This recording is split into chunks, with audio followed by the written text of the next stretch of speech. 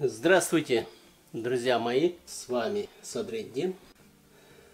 Я сегодня хочу представить вам очень интересное видео о пяти основных шагах вхождения в акварельную живопись. Я некоторое время писал акриловыми красками –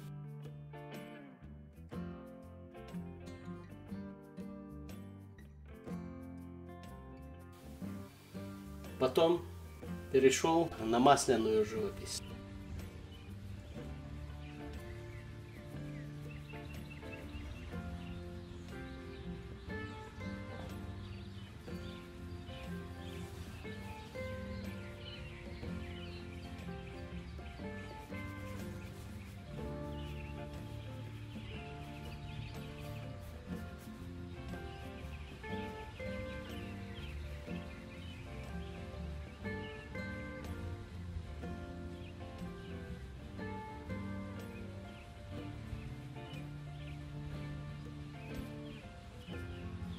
Создал определенное количество картин –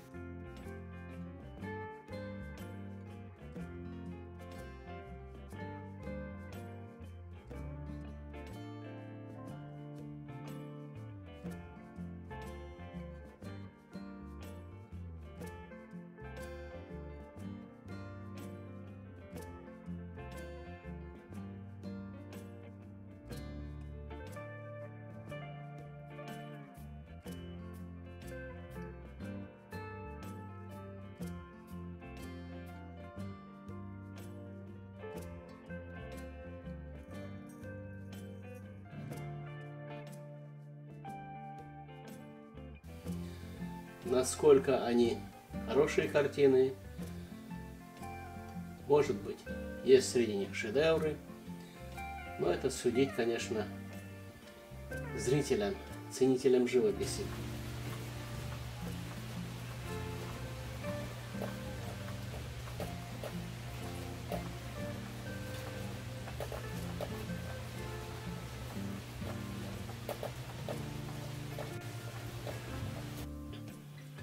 Последнее время я почему-то очень заинтересовался акварельной живописью.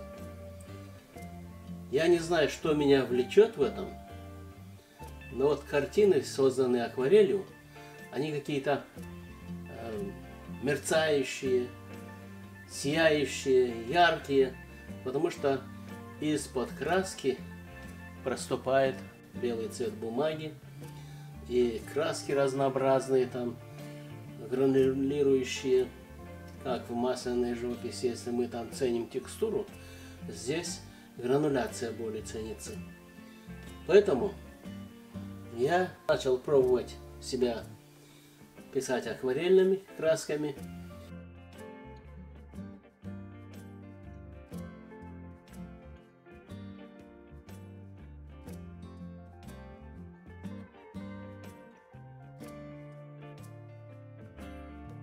хочу, значит, развить все эти свои способности, развить мастерство, писать как самые лучшие мастера.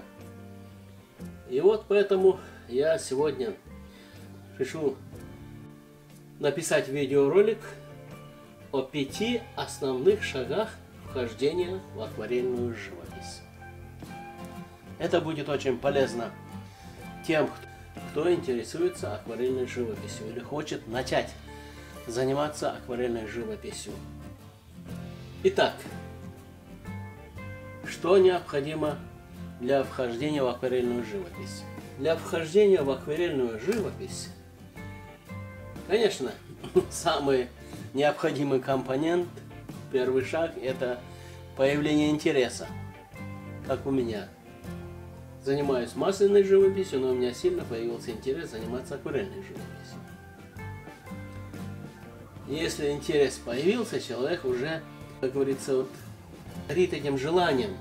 Не, не терпится ему что-то создать такое, как э, создают другие опытные мастера. И поэтому, когда интерес появился, следующий шаг – это получения необходимой информации, чтобы человек имел какие-то знания про акварельную живопись. Необходимо просматривать видеоролики о красках, бумаге, инструментах, чтобы знать, какие бывают акварельные краски, какие бывают виды, бумаг, э, кисти для акварельной живописи и другие соответствующие инструменты. Э, когда вы уже будете в курсе дела, э, какие существуют материалы, вот такие, допустим, вот, видите, небольшие краски, для начинающих они очень даже подходят. Вот.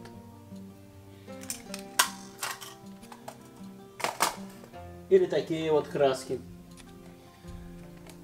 Их разнообразное количество разных всяких небольших таких наборов, которые можно приобрести.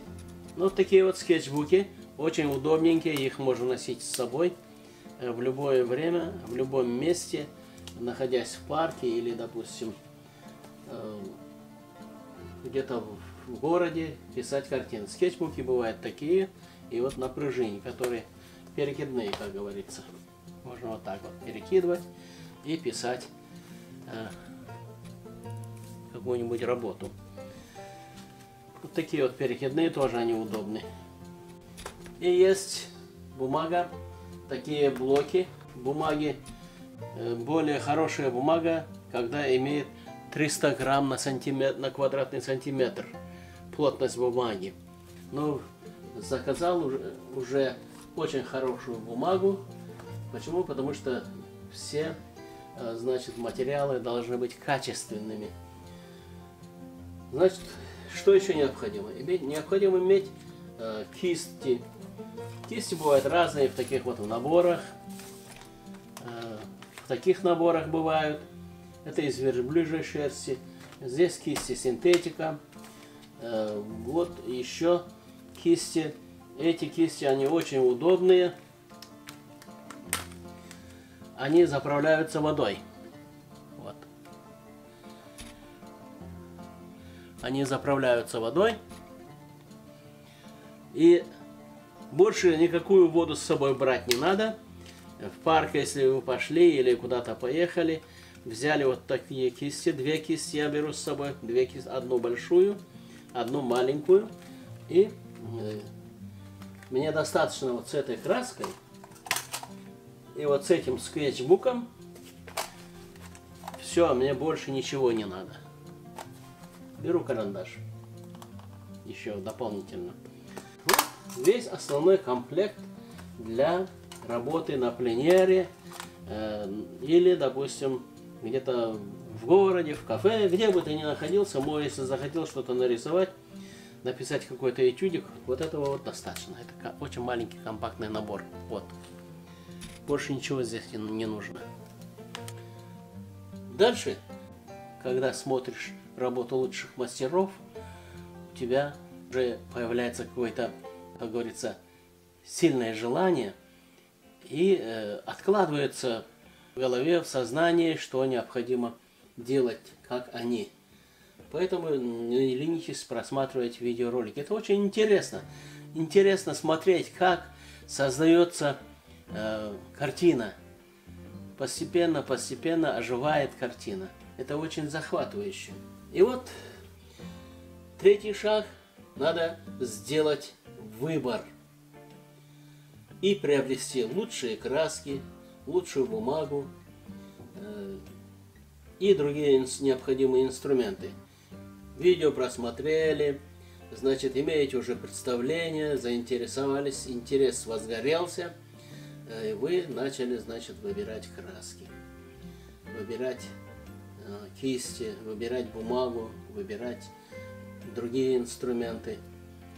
Для этого вам в помощь Amazon, в помощь eBay, э, в Google найдете, какие есть специализированные сайты для продажи материалов и других инструментов живописи. Затем начинается Четвертый шаг. Вы приобрели инструменты, приобрели бумагу, приобрели краску. Надо их протестировать. Тестирование начинается с проведения раскраски и смешивания цветов, чтобы вы имели представление, какую, какой след оставляет э, та окраска, которая находится в тюбике или в кюветках, когда вы их разводите водой и наносите на бумагу в разном количестве, в разной значит, плотности, больше воды или меньше воды.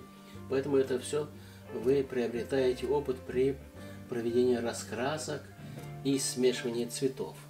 Дальше, когда вы уже научились работать с красками, надо попробовать написать картину мокрым по мокрому или, допустим, мокрым по сухому. Ну, это что такое? Ну, мокрая краска, бумага э, намачивается и пишется мокрым по мокрому. Это очень интересный процесс, когда краска наносится, она растекается, расходится, как живой организм. Это очень интересный процесс. И можно писать также прямо по сухой бумаге.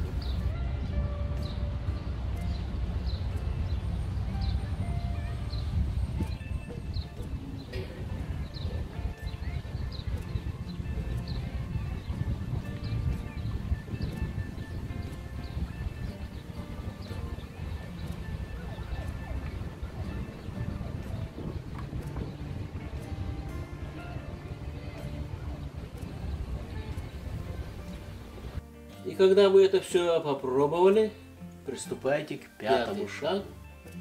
Уже надо писать картины, практиковаться. Каждый день как минимум написать одну картину.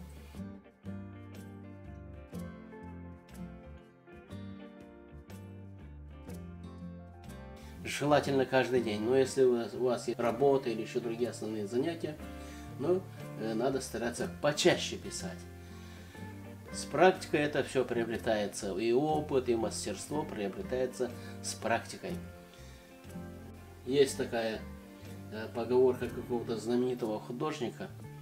Сделай состо, и все получится просто. Если сто раз вы что-то сделали, оно уже очень получается просто легко. Вот поэтому мы смотрим, наблюдаем за работой мастеров и восхищаемся, как они это все предугадывают заранее, чтобы так получилось. Поэтому запомните, сделаешь соста, получится просто. На этом я заканчиваю вхождение в акварельную живопись. Следите за моим каналом, где буду постоянно тестировать или материалы для живописи, или разные приспособления, инструменты э, для живописи. Ну, все, что у меня появляется в голове идея, я этого воплощаю, и это буду выкладывать в видео. Это будет, надеюсь, будет вам очень полезно. Еще будет очень много интересных видео. Не забудьте подписаться. Ваша подписка будет помогать раскручивать мой канал. Я думаю, каждый э, благоразумный человек любит помогать. Вот такая помощь от вас мне нужна. И, конечно, обязательно пишите комментарии. Пишите то, что вы хотите. Положительный будет комментарий, отрицательный будет, хвалебный будет комментарий или с критикой. Я все воспринимаю очень правильно. Каждая критика будет помогать мне лучше развиваться. Итак, подписывайтесь на канал, пишите комментарии. Благодарю за просмотр. С вами был Садридин.